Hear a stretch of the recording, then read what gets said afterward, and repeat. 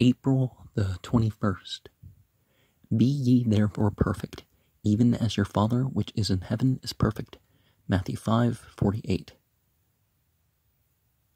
It's about perfecting people. It's not about this, oh, I'm human, and to be flawed is to be human. As for me, I will behold thy face in righteousness. I shall be satisfied when I awake with thy likeness. Psalms 17:15 So we know God as far as we are righteous. The righteousness he marks in thee, his will to right doth win. Delighting in thy purity, he deeply drinks it in. T. H. Gill. To love God is to love his character.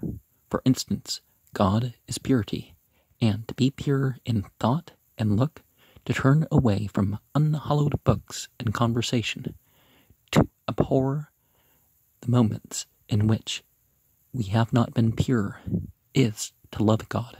God is love. And to love men till private attachments have expanded into a philanthropy which embraces all. At last, even the evil and enemies with compassion. That is to love God. God is truth.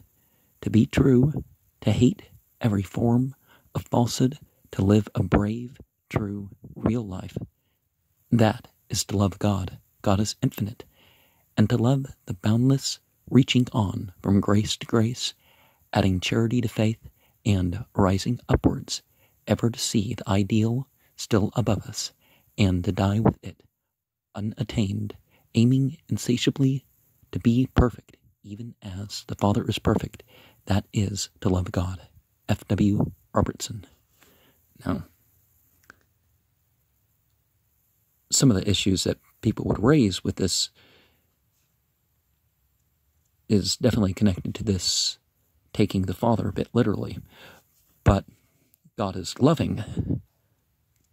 God is the the reality, the most true, um, the entirely true. But there's love of what's not right, and that's not what it's saying.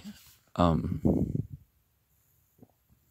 well, in English, perhaps that we find references in Scripture that say this, but literally, that's not what's being said.